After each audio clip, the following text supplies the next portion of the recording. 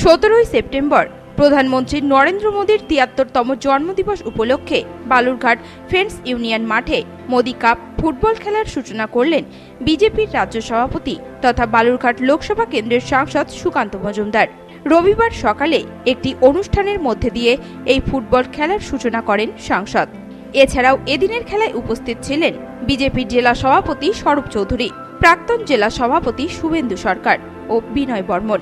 জেলা সাধারণ সম্পাদক পাপি সরকার সহ অন্যান্য বিজেপি নেতৃত্বরা। মূলত চলতি মাসের প্রথমে বালুরঘাট লোকসভা কেন্দ্রের সাতটি বিধানসভা এলাকায় এমপি কাপ আয়োজন করা হয়।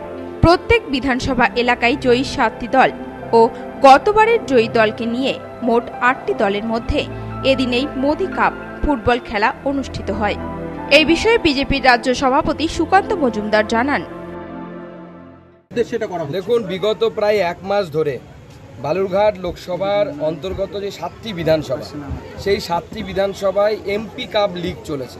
সাতটি বিধানসভায় সাতজন চ্যাম্পিয়ন এবং গতবারের মোদি কাপ যেটা একদিনে আমরা করেছিলাম, তার যে চ্যাম্পিয়ন এই টোটাল আট টিম সেই আট টিম নিয়ে কোয়ার্টার ফাইনাল সেমিফাইনাল এবং ফাইনাল আজকে মোদি কাপ। ভারতবর্ষের যশস্বী প্রধানমন্ত্রী নরেন্দ্র মোদীর জন্মদিনে মোদি কাপ অনুষ্ঠিত হতে চলেছে। যারা প্রথম হবে তারা পঞ্চাশ হাজার টাকার আর্থিক পুরস্কার এবং তার সাথে একটি সুন্দর কাপ পাবে। যারা দ্বিতীয় অর্থাৎ রানার্স আপ হবে তারা তিরিশ হাজার টাকার আর্থিক পুরস্কার এবং তার সাথে একটি সুদৃশ্য কাপ। আজকে আমাদের এই সকালবেলা আমরা মাননীয় মোদীজির সুস্বাস্থ্য কামনা করে আমরা পুজো দিয়েছি। বালুরঘাটের অধিষ্ঠাত্রী দেবী বুড়া মা কালীর কাছে। এরপর আমাদের হসপিটালে ফল বিতরণ আছে এই মোদি কাপ হচ্ছে এখন এই মুহূর্তে।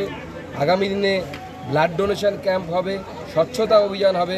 মোদিজির জন্মদিন থেকে শুরু করে বিস্তৃত এক পক্ষ কাল ধরে আমরা মানুষের সেবার কাজে নিজেদেরকে উৎসর্গ করি।